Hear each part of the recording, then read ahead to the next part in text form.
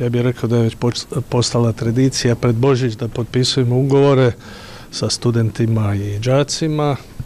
Prije svega kažu da je prosinac mjesec darivanja, pa evo i mi darujemo naše đake i studente sa novim ugovorima ili podužujemo one iz postojećih godina.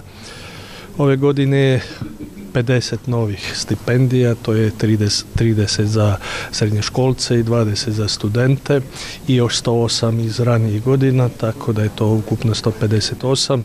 Znate da je to 50, 500 kuna po mjesecu 12 mjeseci za srednjoškolce, 1000 kuna opet 12 mjeseci za studente i da je to evo jedan iznos koji ove godine negdje 2 milijuna i 100 tisuća kuna koji pored e, svih onih drugih izdvajanja za obrazovanje moram reći da evo, nije možda prevelik, ali je značajan da na taj način pomažemo našim mladima.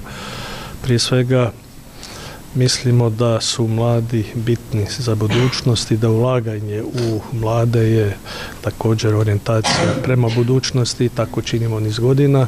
Prije svega e, kapitalnim ulaganjima u osnovne i srednje škole. Evo, izgradili smo gotovo 50 objekata, što osnovni, što srednji, što športski dvorana, ali to činimo i dalje. Ove godine smo i posebno imali stavku 12 milijuna kuna za e, udžbenike osnovnoškolaca, time smo svima osigurali besplatne udžbenike, ali bih rekao da imamo i onih e, posebnih e, pomoći u nastavi negdje 117 djece koje, odnosno pomoćnika u nastavi, a 129 djece kojima je ta pomoć potrebna. Za to do 20. godine se izdvaja 10 e, milijuna kuna iz Europskog fonda solidarnosti i još 9 milijuna tome pridodaje Zagrebačka županija. Mogli bi toga nabrajati još dosta. Ja vjerujem da evo smo niz godina pokazali ne riječima nego dijelom da smo stvarno za obrazovanje, da to radimo i da to na terenu, evo, čini mi se daje i određene rezultate. Ja bih htio prije svega čestitati onima koji danas potpisuju uh, ugovore. Očito morali su se truditi da bi na ljestvici eh, došli u izbor, iako je značajnije više zahtjeva nego smo mogli izdvojiti sredstava. Evo izdvojili smo još 12 jednokratnih pomoći za srednjoškolce, to je po 3000 kuna, odnosno 9 za studente oko 6000 e, kuna. Kad evo, sve skupa pozbrojite, mislim da dođete do jednog solidnog iznosa. Evo, ja se nadam da će i dalje vrijedno učiti, marljivo učiti, čestitke na tome, čestitke na tome da jesu ponos Zagrebačke županije, a mi ćemo i dalje biti uz njih.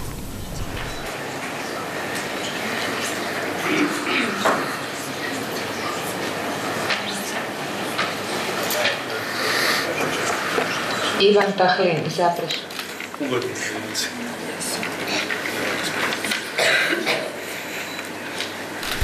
Okupili smo se ovdje kako bi potpisali ugovore o dobivenoj stipendiji Zagrebačke županije. Pa nama studentima, a vjerujem i svima ostalima koji su dobili stipendiju, znači jako puno, zato što to na neki način pokazuje da naša županija ulaže u nas mlade, te da potiče i dalje naše obrazovanje i sve to da postižemo što bolje uspjehe.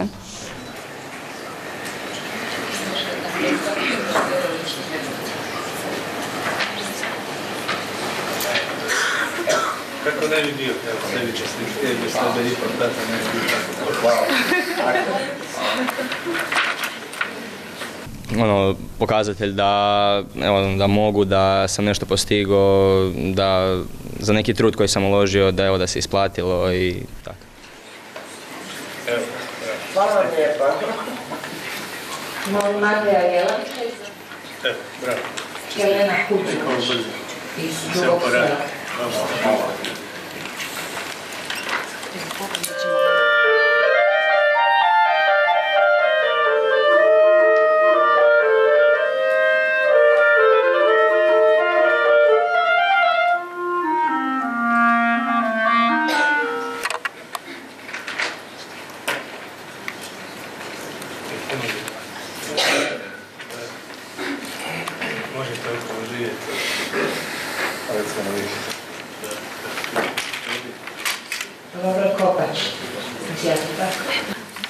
idem u srednju školu Ivan Supek, 10. gimnazija. E, Klarinet sviram već 8 godina, znači drugi srednje sam. I klarinetom se želim baviti u budućnosti, želim pohađati muzičku akademiju. Stipendija mi je puno pomogla e, u daljem, odnosno pomoći će mi puno u daljem razvitku jer e, da si mogu sama omogućiti e, neke stvari koje su mi potrebne za klarinet. To su re- recimo piskovi ili druga oprema. E, Pomoći će mi i da sama odem, da sama platim svoje seminare i da jednostavno uspijem u svom u cilju u životu. Dobar primjer.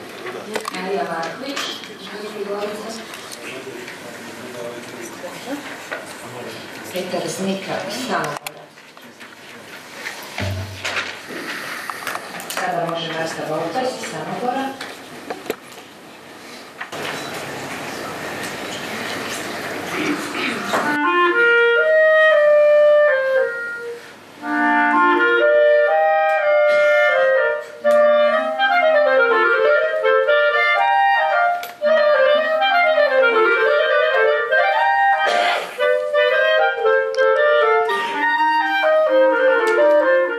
Student sam na Muzičkoj akademiji u Zagrebu, uh, pa sviram klarinet već 10 godina i ova, ova stipendija će mi definitivno puno pomoći u daljem radu i pribavljanju opreme koja mi treba za klarinet primarno piskovi, a tako i da mogu teret skinuti sa svojih roditelja da platim, na primjer, neki seminar sam sebi i nešto u tom stilu.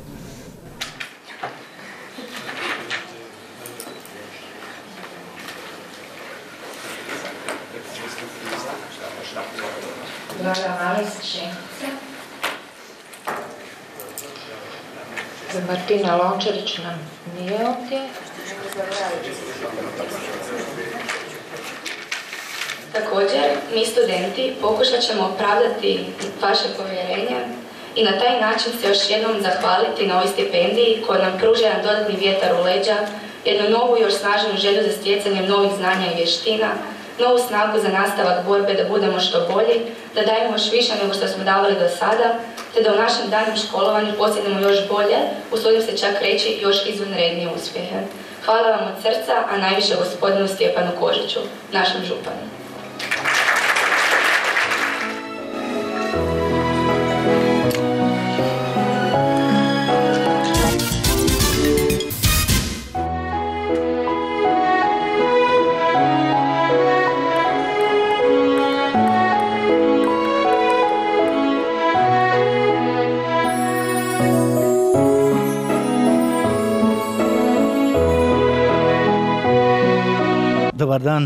Svima još jednom na sportskim susretima nacionalne manjina u Zagrebačkoj županiji koja evo sad pomalo prelazi u tradiciju, ovo je druga godina, a nadam se da ćemo uspjeti i nadalje ovako održavati, odnosno još čak i proširiti, da ne bude samo Zagrebačka županija i grad Zagreb. Evo i danas smo se skupili povodom sportskih susreta koji evo pomalo teku, koji su u redu i mislim da će i rezultati biti ono kako se kaže nagrada za nas koji smo ovdje jer nije bitno samo ono pobijediti nego bitno je da učestvujemo i da se družimo a to je bit u stvari svega. I zato bi treba pro- proširiti malo i na ostale županije da se uključe također u ovu e, našu manifestacije, mogu tako reći, e, sportske igre nacionalne manjine koje se eto druge godine održavaju kod nas u Zagrebačkoj županiji, pa nadamo se da ćemo to nastaviti da bude tradicija. So thank you very much for uh, letting me be here and, and welcoming you, and, and good luck to everyone in, in the tournament. Thank you for coming today. Good morning. I am Bob Kohorst, the U.S. Ambassador to Croatia. I'm very excited to be here at the table tennis tournament sponsored by the Sherbeck Table Tennis Club. I joined the club several months ago and have had a terrific experience meeting many new Croatian friends. I'm a, a big sports fan of, of many different sports and particularly enjoy the success of the Croatian uh, football team in the World Cup and also the many other uh, great successes in sports.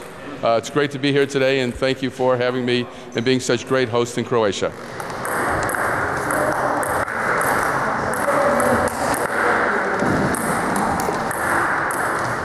Godinu za redom u našoj se školi održavaju e, sportski susreti nacionalnih manjina Zagrebačke županije i grada Zagreba. S nama je ove godine, e, imali smo čast da ovdje prisustvuje i veleposlanik Sjedinjenih američkih država koji kao e, promatrač, odnosno gost i on igra stolni tenis rekreativno. Škola Vukovina ima oko 600 učenika, tri područne škole, Rakitovac, Nacionalni Buševec i uspješno već od 42 godine u ovoj novoj zgradi, znači uče se djeca e, redu, e, vještinama, navikama i znanjima. Pa jedna od područnih škola, to je područna škola Rakitovec, e, ima status eko škole od 2010. godine. Ove godine smo obnovili status, odnosno dobili srebrnu, srebrnu medalju, srebrni status. Prvaci smo Zagrebačke županije u skupljenju starog papira, gdje smo opet osvojili prvo mjesto i e, kao nagradu dobili jednu pametnu ploču. U gradu Velikoj Gorici također smo bili prvi i s nagradom od 9000 kuna kupit ćemo si sportske rekvizite za našu područnu školu. Pa ovdje e, održavamo e, razne sportske aktivnosti nacionalnih manjina iz grada Zagreba i Zagrebačke županije. Ovdje vidite ima nas dosta koji igramo i šahovku igru. Dobro, vjerovatno ovi mlađi imaju šanse da budu jednog dana, ako ne Bobby Fischer, ono barem Kasparovi ili Karpovi. E, ja e, e, očekujem da ću danas e, vjerovatno napraviti dobar plasman i želim svima puno uspjeha u sportskim aktivnostima.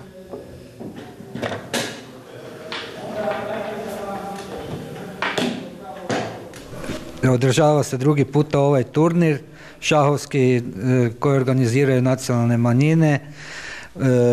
Tu smo zajedno, moja čerka i ja i naše ostalo društvo, naši ostali prijatelji, došli smo uveličati ovu lijepu manifestaciju i nadamo se da će se to i e, svake godine održavati, da se ljudi što više druže i e, djeluju zajedništvo, međusobno povjerenje i, i tako je to. Što se tiče, mi smo iz Šahovskog kluba Silent, drugu godinu za redom učestvujemo na ovom turniru, Kristina i ja, Evo, Kristina je vice prvakinja Europe među gluhim šahisticama u koje se natjecanje održavalo u Baku prije nekoliko godina. Tako da, evo, drago nam je da smo ponovno došli na taj turnir i, i uveličali ovu lijepu manifestaciju. Svima lijepi pozdrav i dobro.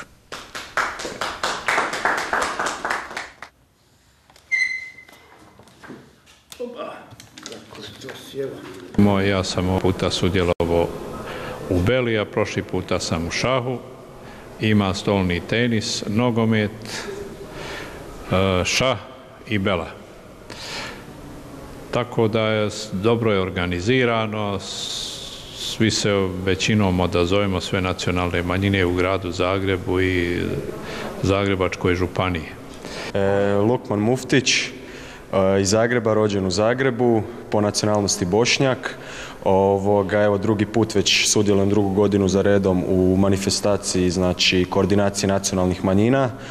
Ovoga, sudjelujem, u turniru Beli sa svojim prijateljom Imranom. E, drago nam je što možemo sudjelovati u ovakvim ovoga, organizacijama koji su popraćeni brojnim manjinama i biti dio toga. E, osobno bi se nadao da će se što više mladih uključiti u ove programe, programe ovakvog tipa i da ćemo ovoga što češće moći prisustvovati ovakvim skupovima, druženjima i općenito ovakvim događajima. Ja sam Imran Srebreniković, po nacionalnosti sam Bošnjak. Što se tiče mladih, e, općenito svih nacionalnih manjina, pripadnika nacionalnih manjina, većina je ušla u jednu e, asimilaciju i dosta mladih se znači više ne njeguje e, ni, ni vjerske neke niti e, nacionalne vrijednosti i tradicije. Ono što bi ja pozvao sve mlade da se uključe u što više projekata svih ovakvih, na primjer što imamo koordinacije nacionalnih manjina i da sudjeluju jednostavno da njeguju sve te vjerske i nacionalne neke vrijednosti koje smo vrlo bogati. Svaka manifestacija unutar mađarske zajednice koja nam pomogne da se okupimo, koja nam pomogne da drugima s kojima živimo pokažemo našu običu, naše tradicije je vrlo važna. I mi i u Demokratskoj zajednici Mađara Hrvatske zajedno sa našim zastupnikom, predstavnikom mađarske manjine ovdje u Zagrebačkoj županiji gospodin Berkešom iz godine u godinu organiziramo dakle, ovo mađarsko večer koja je prilika da svi vide kako je to sjajna mađarska kultura, kako su to preklasni mađarski običaji. Ono što je posebno sretno, ono, ono što me čini posebno sretnim jeste da iz godine u godinu imamo posjete značajnih gostiju iz Mađarske, što dakle pokazuje jedan dodatni aspekt očuvanja mađarske kulture, mađarskih običaja ovdje u Zagrebačkoj županiji i gdje mi budemo ili dobijemo priliku uistinu biti jedan most koji povezuje dakle kako um, Mađare ovdje u Hrvatskoj, tako i Hrvate u Mađarskoj, tako evo i zastupnike iz Mađarskog parlamenta koji su večeras s nama.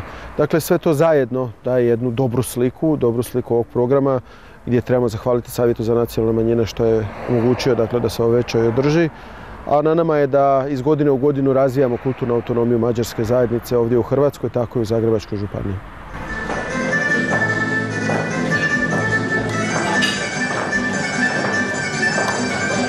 I dakle već dugi niz godina osobno pratim e, rad nacionalnih manjina i mogu samo reći da je to zaista jedna dobra simbioza i da oni svi iznimno dobro djeluju i e, idu e, putem Zagrebačke županije. Što to zapravo znači? Zagrebačka županija zapravo jedna, jednim velikim dijelom financijski sudjeluje u njihovom razvoju i financijski i na sve druge načine zapravo prati e, nacionalne manjine. Osobno smatram da se moraju držati tako zajedno kao što je evo i ova večerašnja konvencija pokazala da su oni zapravo e, u, jednoj, u jednom dobrom zajedništvu i e, njegujući sve te tradicije koje zapravo oni imaju i na ovakvom jednom jednogodišnjem skupljanju E, koje isto tako pratim već niz godina, ali ne samo sa strane Zagrebačke županije, nego i sa strane svoje općine, jer moram vam reći, ja recimo na svojoj općini imam, e, jesam načelnica u svojoj općini, imam dvije manjine, imamo e, bošnjačku i srpsku manjinu i mogu vam reći da fantastično surađivamo s njima i temeljem toga se pokazao interes i iz Zagrebačke županije i zapravo mi kad bilo šta održavamo imamo uvijek, i tako su i slijedili ti posjeti, oni nama, mi njima i ne samo kod mene u moju općinu nego i diljem drugih općina i gradova.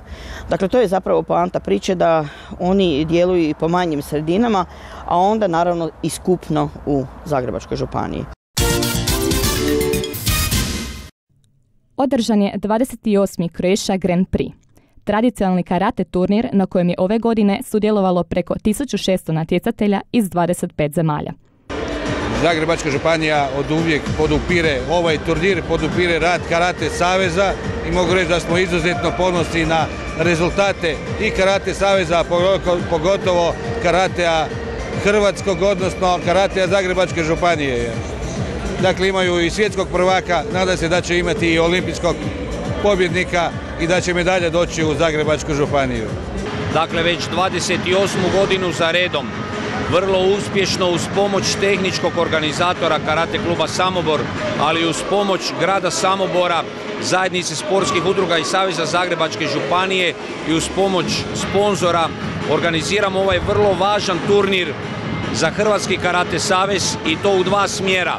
Prvi, onaj najbitniji smjer je da smo svojim reprezentativcima i sportašima i klubovima omogućili da kod kuće u Hrvatskoj imaju ovakav jedan turnir ne samo po broju sudionika kvantitetom koji zadovoljava ovakve uvjete nego i, kvalitetom. Dakle ovdje je 24 nacionalne reprezentacije kojima ujedno ovaj turnir služi u ovom terminu kao provjerni turnir za europsko prvenstvo u veljači i u tom prvom dijelu smo našim najboljim natjecateljima osigurali ovu kvalitetu.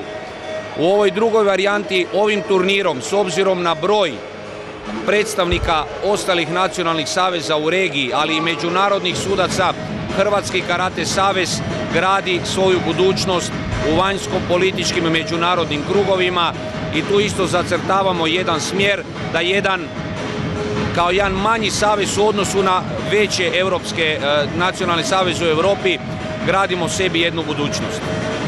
Uh, this time is uh, the third time. Uh, I came here the, the, um, in July two years ago, and after then. Ovo mi je treći put da sam ovdje.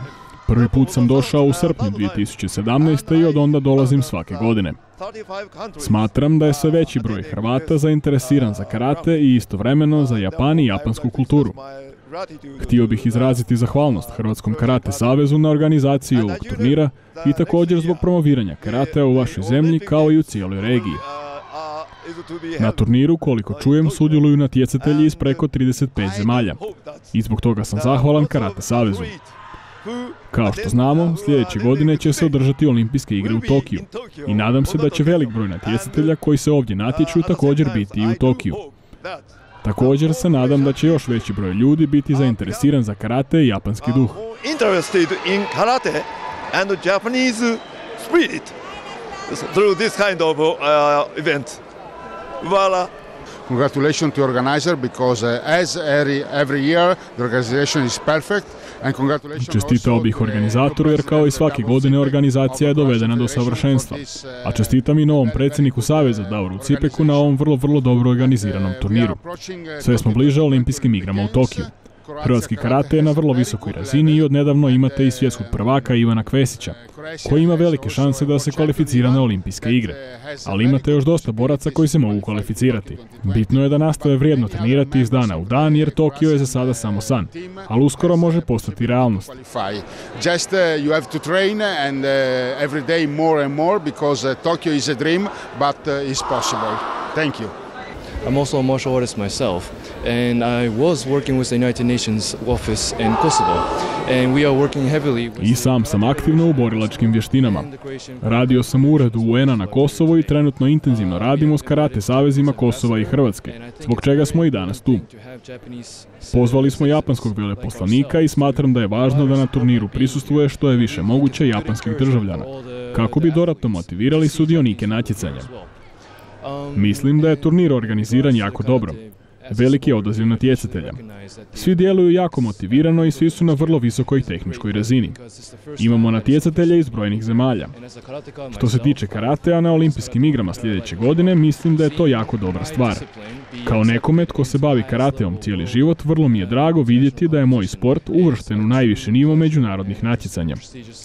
Nadam se da će velik broj današnjih natjecatelja proći kroz kvalifikacije i izboriti nastup u Tokiju iduće godine. To go to Tokyo, and I hope to see a lot of them there uh, next year. This is my second time here in this uh, very beautiful city, and I really feel in myself Ovo je drugi put da sam ovdje, u ovom lijepom gradu i osjećam se kao kod kuće, jer su ljudi vrlo topli kao i grad. Ovaj tradicionalni turnir je postao jedan za cijelu Hrvatsku. Vrlo je važno reći da je karate postao olimpijski sport i da su natjecatelji vrlo motivirani u svakom turniru u svim dijelovima svijeta. Sad smo u 2019. i olimpijske igre će doći vrlo brzo. Sjećam se 2016. kada smo govorili da su sljedeće igre tek za četiri godine. Ali evo, te četiri godine su prošle kao četiri dana i vrlo smo blizu novim igrama. Sve su zemlje u stresu glede skupljanja bodova za kvalifikacije njihovih natjecatelja. Hrvatska ima vrlo dobru šansu za osvajanje bodova za olimpijske igre, a nadam se da će i Kosovo također uspjeti izboriti plasman. Kosovo, of course, and I'm, I'm hoping for 2020 to be there. Evo ja mogu govoriti u ime Zagrebačkog karate saveza kao predsjednik i mi radimo u Zagrebu jedan zapaženi turnir u Hrvatskoj Europi, zove Karate Kup, ali evo samoborski turnir, vidite koliko godina oni to organizirao i nama je svima drago, stvarno na taj način dižemo hrvatski karate i organizacija ove godine mogu reći došla do savršenstva, stvarno. I možemo reći što se tiče rezultata da smo mi kao hrvatski karate ovdje pokazali da napredujemo i da stvarno stvaramo zapažene rezultate na svjetskom nivou. Tako da evo svima nama u Hrvatskoj jako drago što se tiče ovog turnira da se tako organizira i da tradicija dalje ide. Dakle, prije svega o turniru, drago mi je da sam ovdje, drago mi je da prisustvujem jednom prekrasnom turniru sa 1800 natjecatelja, dakle definitivno najveći turnir takvog karaktera u Hrvatskoj i, između ostalog e, i mnogi su hrvatski predstavnici ovdje, a jedan od njih je i, kandidat za olimpijske igre, Ivan Kvesić, a ima i drugih kandidata naravno koji, koji su ovdje nastupali, ja se nadam da će ti isti biti na olimpijskim igrama i mislim da Hrvatska ukoliko se kvalificiraju sigurno ima dobre šanse da ostvari određeni rezultat na, na olimpijskim igrama. Također bi iskoristio ovu priliku najaviti Europsko sveučilišno prvenstvo koje će se održati u Zagrebu, dakle ne samo u karateu, nego će to biti Combat Championships, karate, judo, taekwondo i kickboxing. I, i naravno to će biti najveći događaj takvog karaktera u Europi u 2019. godini, tako da evo iskorištavamo ovu priliku da i vas kao sportsku televiziju pozovem, a naravno i gledatelje da prisustvujete najvećem spektaklu borilačkom u 2019. godini. događaj je 31.7. do 4.8. ove godine. Meni je čast i zadovoljstvo predstavljati vrhovnu sutkinju ovakvog jednog međunarodnog turnira i nije lako, puno putovanja, odricanja i, suđenja uh, vrhunskim natjecateljima, uh, djeci i evo, to je jedna čast i zadovoljstvo biti u ovakvom poslu. I moram priznati da mi imamo velike šanse sudjelovati na olimpijskim igrama u Tokiju 2020. Prvenstveno mislim na našeg svjetskog prvaka u poluteškoj kategoriji do 84 kg na Ivana Kvesića. Što se tiče drugih zemalja, od ovih što su se natjecali na ovom natjecanju, imamo tu Azerbajdžan, imamo Ukrajinu, to su sve dečki cure u nekim kategorijama koje stvarno ovaj, isto imaju velike šanse. Mm, tako da, evo, ja držim fige i ja se nadam da ćemo i u sudačkom svijetlu isto imati predstavnika, tako da budemo pokriveni u svim segmentima. Hrvatski karate savez već dugi niz godina na temelju svojih međunarodnih rezultata spada u sam vrh evropskog i svjetskog karatea, kako u kadetskom, juniorskom i mlađe seniorskom uzrastu, pa tako i u seniorskom uzrastu. Seniori su top, vrlo je teško, cijeli svijet od kada je karate ušao u porodicu olimpijskih sportova radi vrlo kvalitetno, značajna sredstva se ulažu u karate sport, međutim mi držimo korak sa najvećim zemljama.